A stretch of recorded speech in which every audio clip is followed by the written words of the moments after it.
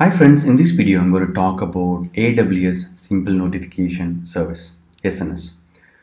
So the agenda would be, I'll be explaining what is SNS, what are the three components, important components it has and the short demo and about the pricing as well, how, the, how they charge, charge the usage of SNS. So what is SNS? It is an, first of all, it is an AWS service. Let me show you in the console.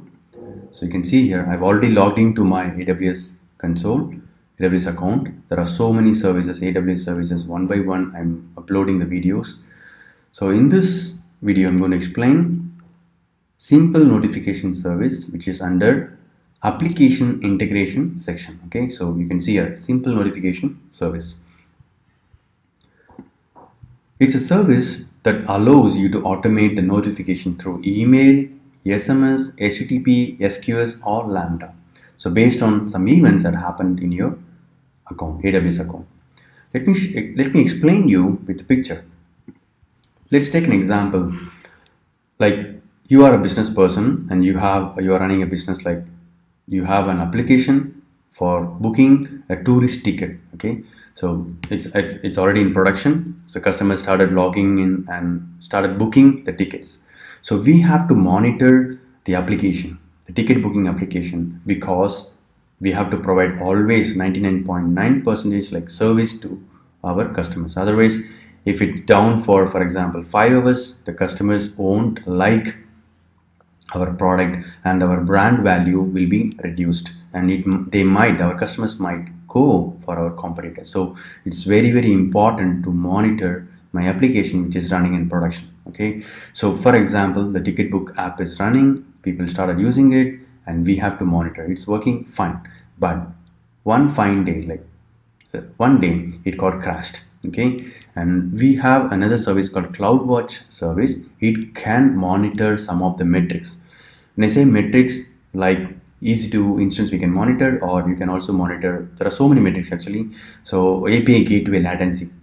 So my expectation is like it should respond within five seconds. What if it takes more than five seconds? Then there is a problem. Then I need to monitor it. And then it should be notified to my team so that they can debug and check what's happening.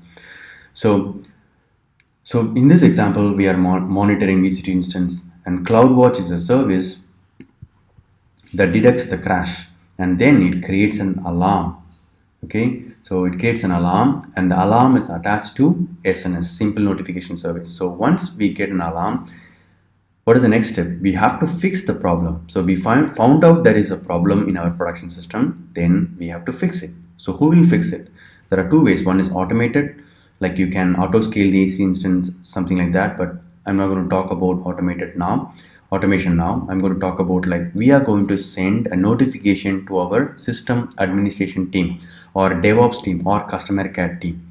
So once the alarm is triggered, it's it is attached to SNS, simple notification service. Then it sends to all the subscriptions. It might be email or SMS. So once our system team, system admin team got the message, they might think like, hey, uh, our server crashed, I have to fix it.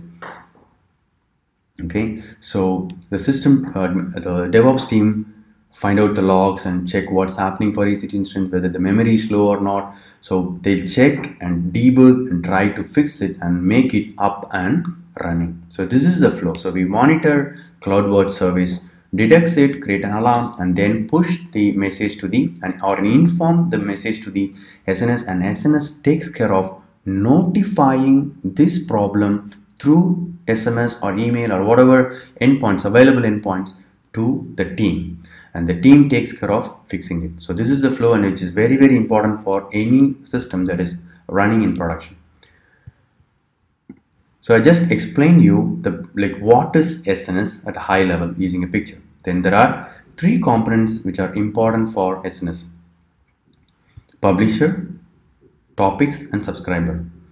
So our subscription, okay. So when I say publisher, it will be like the CloudWatch alarm in this example that we saw. So CloudWatch alarm will monitor and push the message and topic is like a middleman which is going to connect the publisher and the subscription.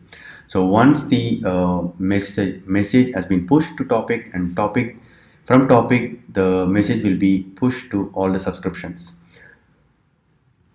I'm going to show you a demo now, like how to create a, a topic and then push a message so that you can understand in a better way.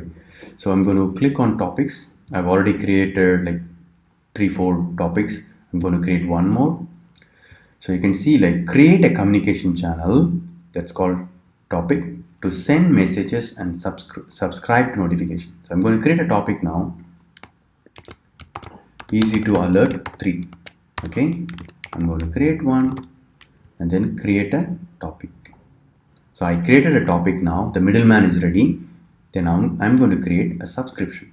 As I told you, there are different ways to notify. You can call an HTTP endpoint, HTTPS, email, then SQS and Lambda. So you, you can choose. For the demo purpose, I'm going to use an email